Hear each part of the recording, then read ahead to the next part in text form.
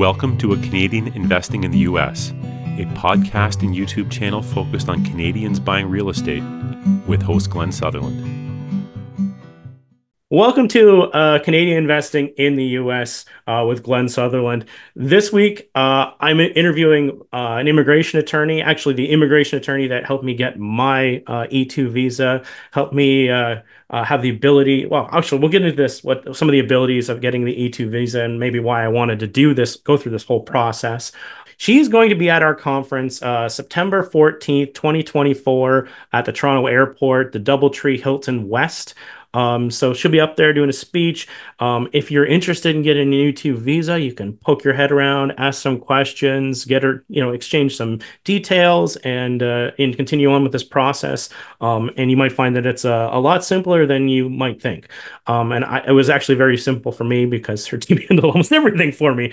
Um, but anyway, uh, uh, Mena, if you want to give start off by just giving everybody a bit of an introduction to yourself, and then we'll we'll go from there.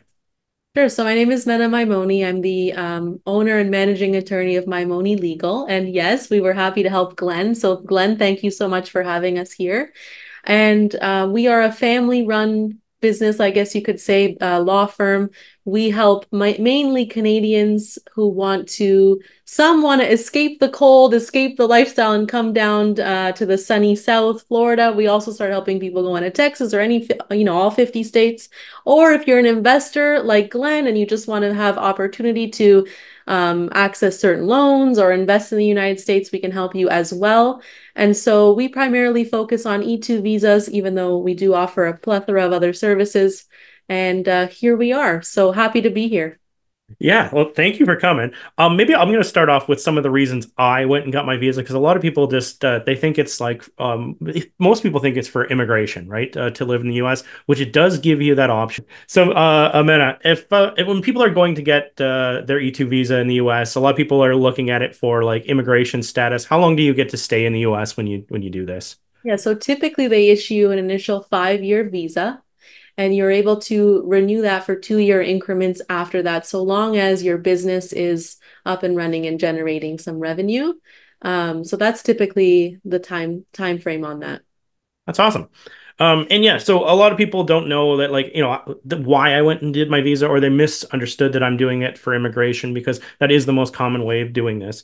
So, um, I could have went and lived in the United States, and uh, for me, it's it's not where I want to be yet. Anyway, it gives me some options, but um, for me, um, one of the big things was American lending. Um, so even before I got my social security number, I there's many lenders that will do a combination if you have an E2 visa and an ITIN number, uh, and they would do American lending on that. Um, I was just talking to um, my CPA like literally 30 minutes before this, and my uh, social security numbers.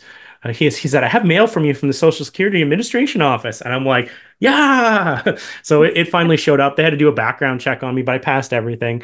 Um, so it wasn't as simple as whenever I went there that they would just hand it to me. They had to go mail stuff to Canada and double check stuff. Um, but anyway, I got I got Sometimes mine now. It's quick, and other times it drags on. It's really Everyone tells me something different about that, but good thing is that you got it in the end.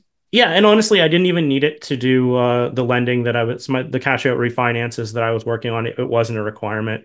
Um, one thing that a lot of people don't think about when they're for the visa is as a Canadian investing in the U.S we have the ability to take advantage of both tax laws. So I might want to pay certain parts of income in Canada, certain parts of income in the US. And typically the easiest way to split that is between active and passive. Um, actually, you know what? On during the uh, conference, I'm going to get Ali to go right into details on how to split all this in- taxes and income up. Um, but anyway, that's why I hire a professional. Um, but basically what we want to do is work with my Canadian account and my American account to figure out what the advantages are on both sides. And some of the advantages require active income in the United States. And it, what the hard part is, is to justify to Canada revenue that you are earning active income in the United States when you don't have a visa to actively work in the United States. So Right. it, so it's a catch 22. Um, if you ever get audited, um, it could lead to paying this all back, right? So I, I honestly want to work this the, the best I can, you know, and that's why I hire people to, to do these things for me because they know way much better than me. Definitely need the right team to help support you. Otherwise, Yeah. a lot of mistakes can be made along the way, as I'm sure you've seen. Oh, definitely. Um, uh, Mena, when people are, um, you know, getting their their visa, um, I think one of the most common questions that I'm asked is like, how long does this take? Is this like, uh, you know, years? Is this weeks? Is this months? Well, how long does this usually take somebody? So it really depends on the client. Okay. So if I have a client and they've already made the investment and they come to me and they're pretty well organized and they're like, we want to get this done sooner rather than later, we typically can turn it around for them in three to four months. Um, however, if somebody, you know, hasn't made an investment yet and they're really not in a rush, usually it's six months or more. So it really depends on the client. We'll work with them to kind of help and try to meet their deadlines. Um, although we are working with the US consulate, so sometimes, you know, we can't really predict exactly when things would happen, but we do try to be proactive and try to get everything uh, done based on their timeline. Yeah. And and typically like whenever I was doing it, um a lot of it was it, like the slowdowns were me. Um to be completely honest.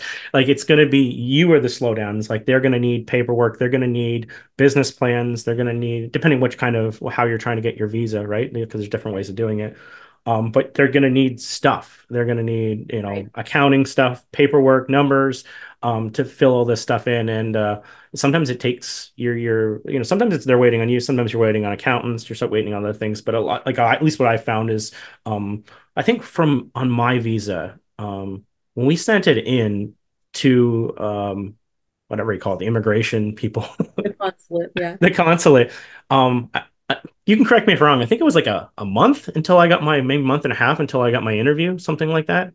Mine was really quick. It has since actually sped up from there. Yeah. Um, right now it's about two to three weeks. So, so they what we do is we apply, they process it, and they send us an email back to say, hey, um, send so and so client for an interview.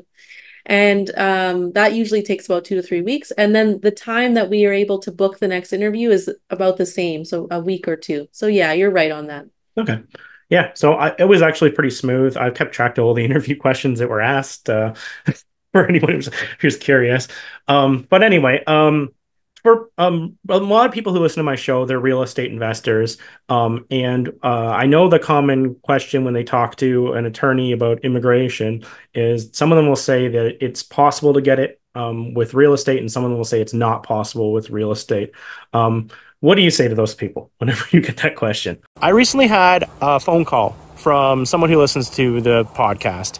What they told me was that they'd sent money to a contractor. The contractor basically ran away with their money and didn't complete the job. Since I hate to hear about this happening to people, so because of this, I, I just created a, video uh, with a bunch of common mistakes that Canadians make. Sometimes it's because they're new to investing, and sometimes it's just they're new to U.S. rules or U.S. regulations people can go through it and ideally try to make way fewer mistakes because I don't want to see anyone else lose their money. If you're interested in this video, go to a Canadian investing in the USA.com slash mistakes.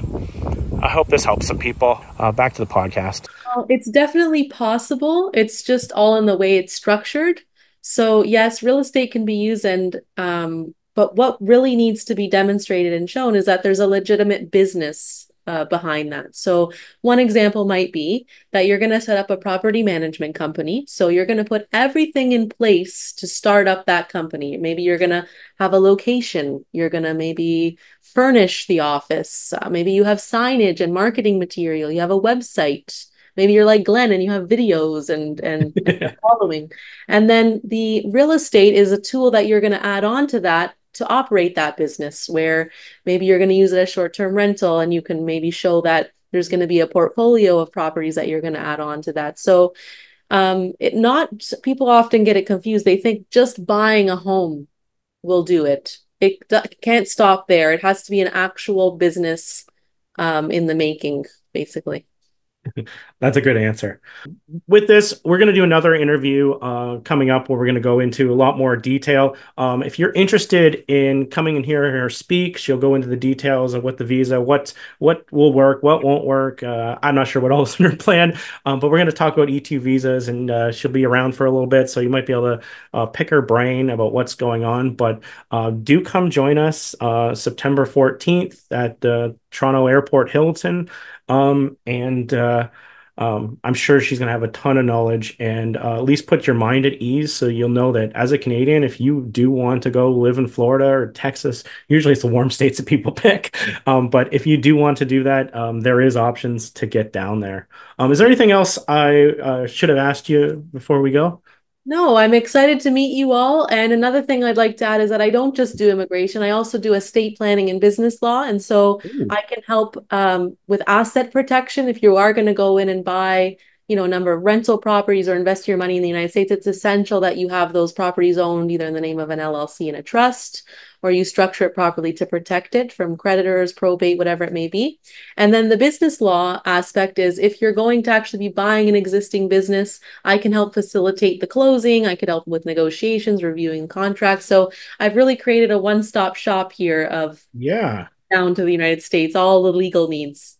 Honestly, I didn't even know you did all those that stuff. So um, maybe maybe we could talk at the the conference a little bit about trusts too, because that's honestly something I've been interested in doing myself, and I've never done it. Um, Very We'll have a side conversation as well.